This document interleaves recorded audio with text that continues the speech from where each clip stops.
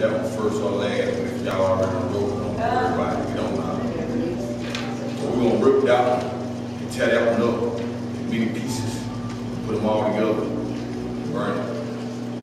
The ministry that me and my team are building right now consists of tapping into things such as knowledge of self, um, the importance of divine energy and our direct connect to the Most High, and um, love itself.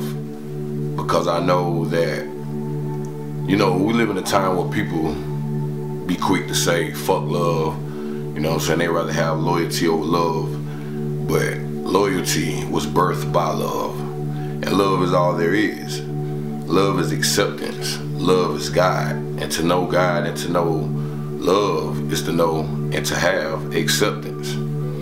So yeah, we want people to be familiar with that and you know, as far as me ministering, this isn't no overnight thing or something that is an ideal of me. This is definitely the authentic me because I've always been preaching, teaching, and speaking truth since a kid. That's what I do even when I was doing rap music, even if I was on my trap or street music, it was still the same. I was ministering, you know, and um, I've always had a passion to uplift people and to bring out the best in people. But really, you're supposed to be able to meditate and stop your mind from thinking. You get what I'm saying? It be taught backwards though. But that's why a lot of people be saying they can't they can't really meditate because their mind be wandering too much and going to other places. But that's the only way you're gonna get the meditation. That's why people be saying go within, even though it sounds like a little slower or whatever, that's like really the truth. Like you really got to go inside yourself, even if you don't know what you really consist of. But that's where all your bliss resides. Being in this field of ministry has been on my mind for a very long time. Anybody that really know me know that I've been battling with the street life and the spiritual life for a very long time. And you know, I understand I'm a Gemini, I'm a uh, life path three. So the creative levels of the, the dark side and the light side exist in me heavy. But along my journey, I realized that I needed to find balance. I needed to find purpose and I needed true uh, understanding of myself. And once I tapped in, you know, I started to venture out a little bit. Like, I got my uh, certification as a minister in 2014. And in 2020, I got my uh, certifications and credentials as a uh, doctor of divinity uh, in the metaphysical field and as a Reiki healer. So I've been dedicating my time. I've been doing the research. Um, I've been doing the work. Um, I've been taking the classes. I've been doing everything in my power to um, make sure I know what I'm talking about, make sure I know how to and what to reference to when speaking, and deciding on the things that I feel like are necessary um, to help people grow and versus just talking a whole lot of blah blah rah rah without being able to back nothing up. Alright, so Saturn is the planet of responsibility and it symbolizes the ethic of hard work. Under its influence, a person's character is strengthened through trial and difficulty.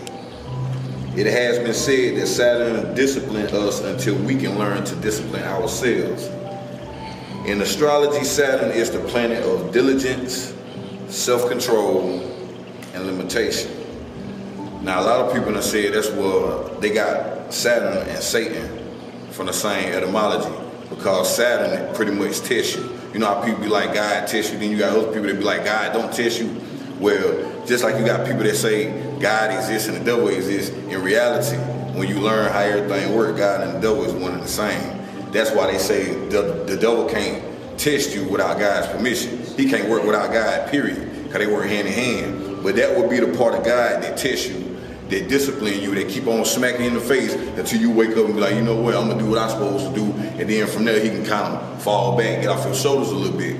Now with Jupiter, that's why Jupiter is like, Jupiter really like one of the best planets we got, you know what I'm saying? Because it's all about good luck, optimism, success, and generosity.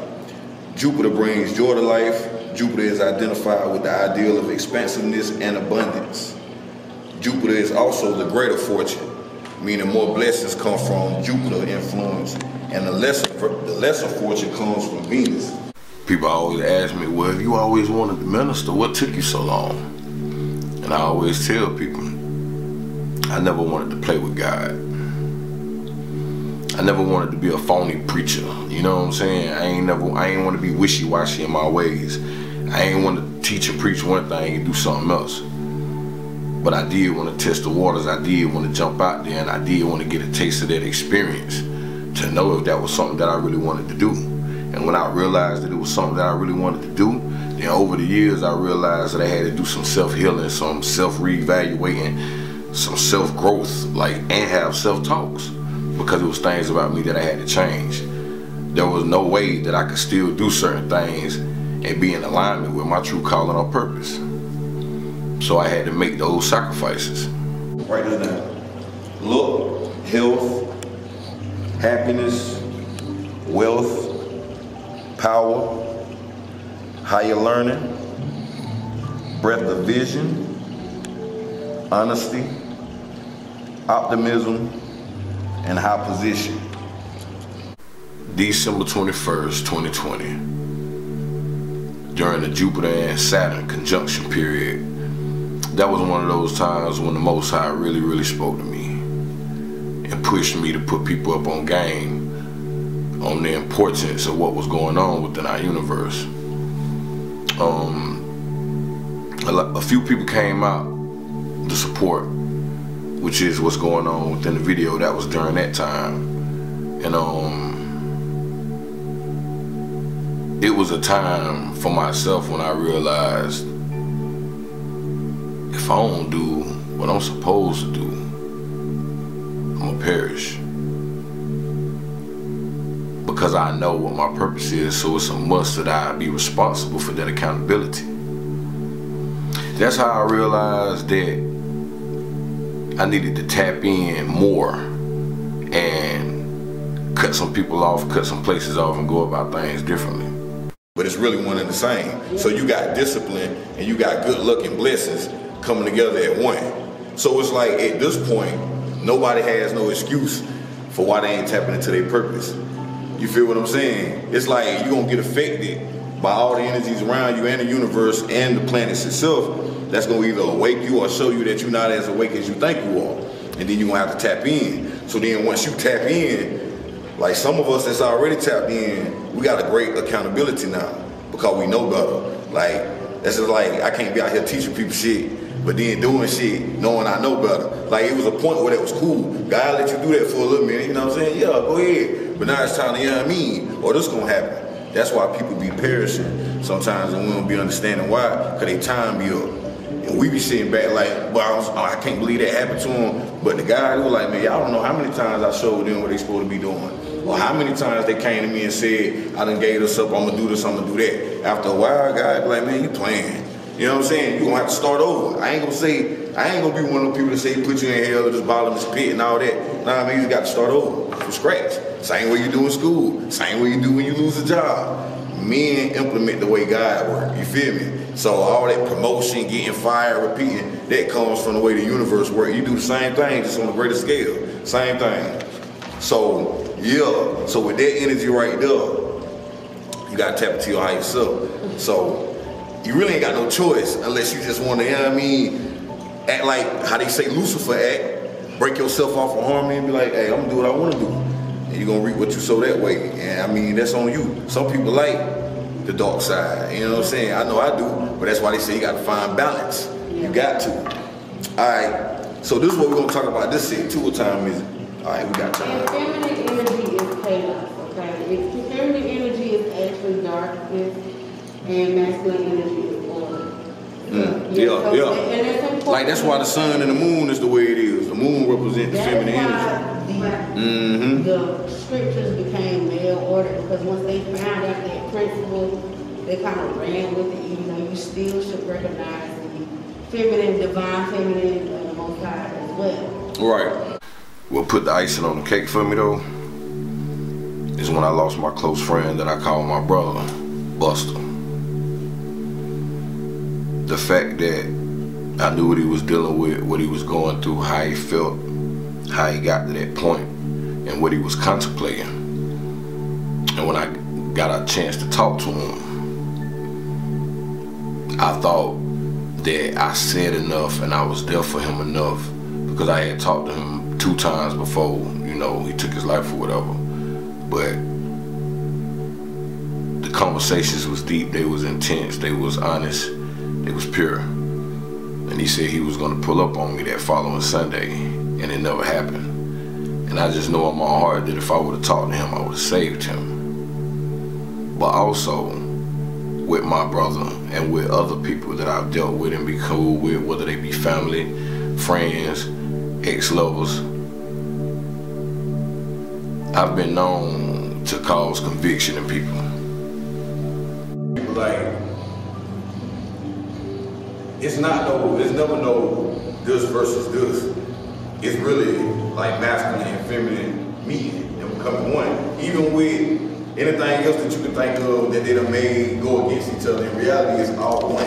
Every single thing is all one, but the misconception of duality is what got people screwed up. And that's where it started with us, men and women, you know what I'm talking about? and then from there, it just go from sports to everything else. But everything in the world is based on duality. So the Star David is the two different triangles. Yeah, the um, And it's Jewish, um, yeah, but see, all those symbols come from ancient Way Egyptians before. they even bring it to anything else. And all it represents is man and woman becoming one. You know what I'm saying? That's Shut it.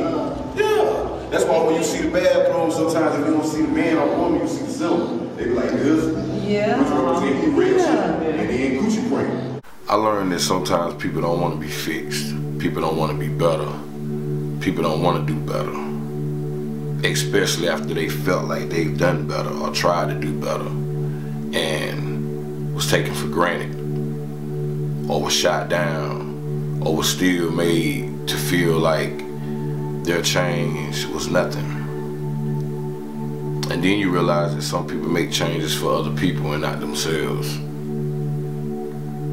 and that hurts too. And then you got those who make changes to better themselves and lose the people that they love in the process. During the time of Buster's death, I was going through a lot. And people that's supposed to have been in my corner was not. And distracted me with other things during the time of grief for me.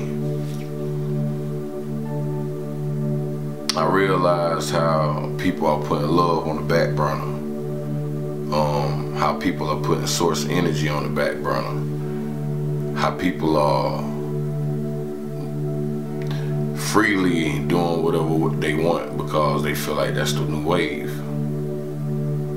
We do got free will, but there is a such thing as abomination. You know? We can tap into the dark side, but everybody know that light is everything. We can hate whoever we want, but we know that love brings better results. And it's like no matter how much we know that higher vibration is the best location, most of us still choose the lower destination. And when you try to correct people, they feel like you're trying to belittle them. When you give people professional criticism, they feel like you hating on them.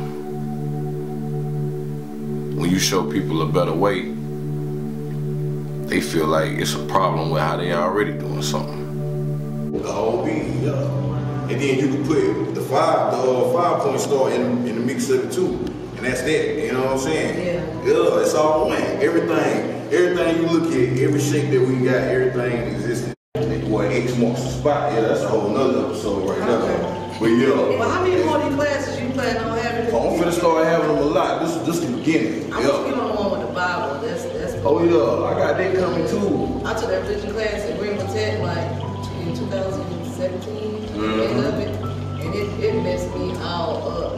But my homegirl told me it would because it's like basically told me a lot in church, you know. But let me tell you something else they do too. Classes for divinity. Listen, that book ain't nothing but stories. And those stories represent reality. And the turtle, you know the story of the turtle and the hare? Yeah. That represents the sun and the moon. How one moves fast and how the other one moves slow. Yeah. But they still move at the same speed. Yeah. Come on now. Like they said, the Book of Job is an ancient Chinese folklore. Mm, I can see that. No, I can see that. Yeah. nah, for real though. Yeah. Huh. One thing for sure, no matter what you believe in, no matter what you do, no matter what you say, no matter how you treat people, and no matter how people treat you, God gonna always be God. And that's the G-O-D, generator, operator, and destroyer.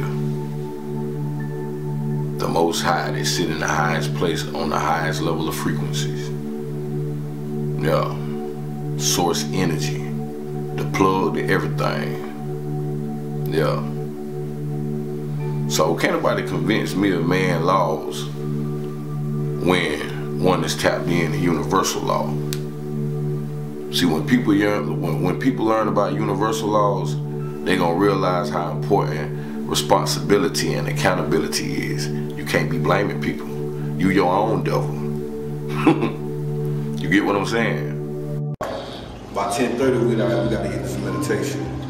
All right, so I'm finna talk about the laws of the universe. How many of y'all know about the laws of the universe? All right, so everybody know about man laws, but don't nobody know about the laws of the universe. That's the most important. The laws of the the laws, the life of ugh, the life on Earth is balanced perfectly by natural laws. Manifesting these laws will manifest mastery on the physical level. So y'all gotta write these down. Now y'all ain't gotta write down what it do, cause some of these got some paragraphs, but I'll take my time so y'all can get as much as y'all How can. about you copy your notes? And We, we, we. I mean, I, I, hey, hey, I don't mind doing that. I can't do it tonight though. Yeah, I know, right? Alright, so it's 14 of them. Universal. Yeah, laws of the universe. And they really important because we govern by these laws whether we consciously know it or not. Gonna help y'all help y'all understand a little bit more. So law number one is law of divine oneness. I'm gonna go ahead and just tell y'all about the law as y'all write them down. That way y'all can put them together. So the law of divine oneness basically states that everything is connected to everything else. So that's a law that can't nobody take. Everything is one. The good, the bad, the ugly, the up, the down, the left, the right, the life, the death, the male, the female, everything is one. That's the way source energy and creator made it on purpose. Applies to our thoughts, words, and feelings in the world. Sound thoughts are in its own vibration and frequency. Is that number three? Now that's number two. It's still number two.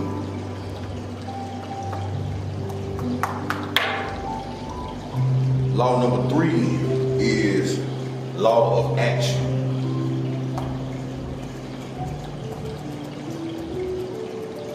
This kind of like when the Bible say, you take one step, I take two. Like the universe be with you, but if you ain't doing that, it, it can't do that, you feel it. So it states that law of action must be applied to manifest anything on earth. We must engage in actions that support our thoughts, dreams, emotions, and words. We must engage in actions that support our thoughts, dreams, emotions, and words. Say that one more time. Law of action states, I mean, my bad, law of action must be applied to manifest anything on earth. We must engage in actions that support our thoughts, dreams, emotions, and words. You don't put that in action, it ain't happening. I don't care how much you talk about it. I don't care if you sell out or not, do good or not. You still gotta put some action into that thing. Support our dreams and what else? Uh, support our thoughts, dreams, emotions, and words. I know this journey not gonna be easy. But I'm cool with that because I don't want nothing that comes easy. Everything that I ever had to come to me easy in my life. was filled with BS and it didn't serve me no good. But everything that I worked hard for paid off for me. So I see how these things work. So my level of attitude and gratitude is different. And that's why I'm not too prideful to say that I need help. And I trust that the Most High will send me those people who are in alignment with my frequency.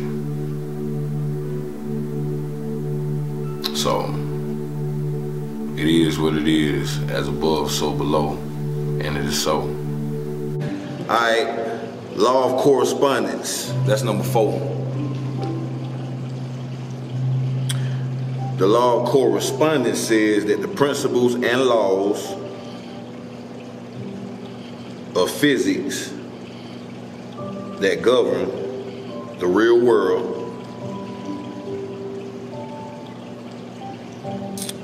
hold up Let's put a period after word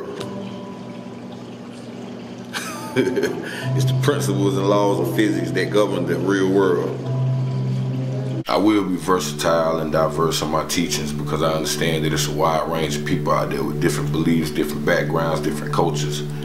But they can hear the word, they can receive the message, and they can see and feel light. So I know people are intelligent enough and vibrating high enough to tap in and recognize when they see themselves in a higher vibration. Because we are all reflections of one another, regardless of what anyone else thinks. It is what it is. I want people to be aware of how the chakras within our body and energy field operate. I want people to know the importance of their birth chart. You know, I want people to know the importance of divine energy and our direct connection to the Most High. Anytime the chakra is blocked, it comes from a lack of rest and a lack of eating proper foods. What's the side effects of it? The bad, anything that come out of them too, uh, body aches, anxiety, uh, uh, diarrhea. I'm just saying. Yeah, for real. Fatigue. Yeah, this is the affirmation for it. So y'all can say this every day to help that chakra. I am a divine being, and I am safe, protected, and supported. I am a divine being, and I am safe, protected, and supported.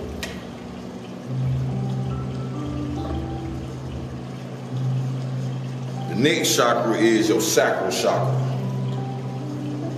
It's orange. Your sacral. This is right above, right below your navel. That's your sixth chakra. And its sound is ooh. Ooh. What? Yeah. And it's. It's, what? What'd you say? What or six? It's the second chakra. And it's orange. And its sound is ooh. It's the wound area. It's what connects us to others, our desires, intimacy, and emotions. It's what connects us to others, our desires, intimacy, and emotions. So whenever this chakra is blocked, you will know because you will have a disconnect with the with physical connection. Intimacy and uh, intimacy and emotions. So anytime y'all be experiencing a problem with having sex or showing intimacy and anything like that, that's because this chakra is blocked. It causes a disconnect with physical connection, but it can be healed. It causes a lack of desire. It causes a lack of ability to experience pleasure sexual problems, desperate need for approval, and feelings of shame and guilt. All of that comes from your sacral chakra being blocked. And the affirmation for this chakra. Somebody say, hold on. Mm-hmm. Oh, my bad. trying to get through. Yeah, okay, I'm ready. Alright. The affirmation for this chakra is I am creative, I am connected, and I am love.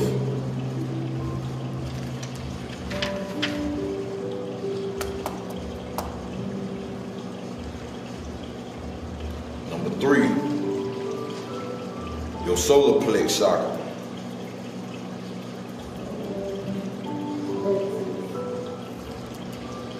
And it's yellow. Its sound is, oh.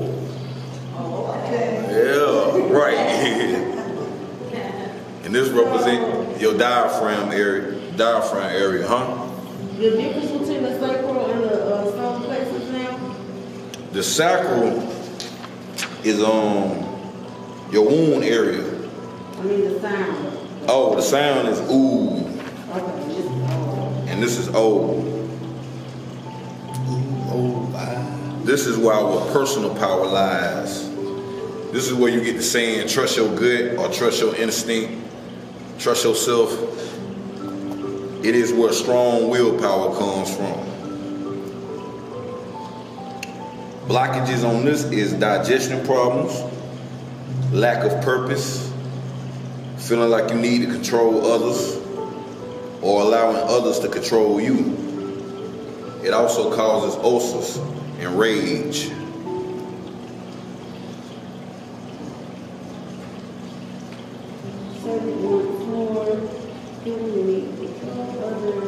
Allowing others to control you, ulcers, and rage.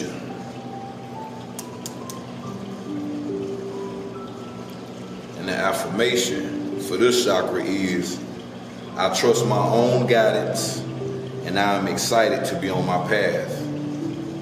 I went through relationship after relationship after relationship.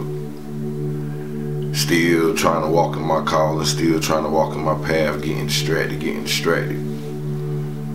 You know, I'm trying to build with friends, I'm trying to do business with friends, I'm trying to put them up on opportunities and, you know, share ideas with them and people just was not moving. People did not see the vision. And as I continue to grow, I realized that what God has for you is for you.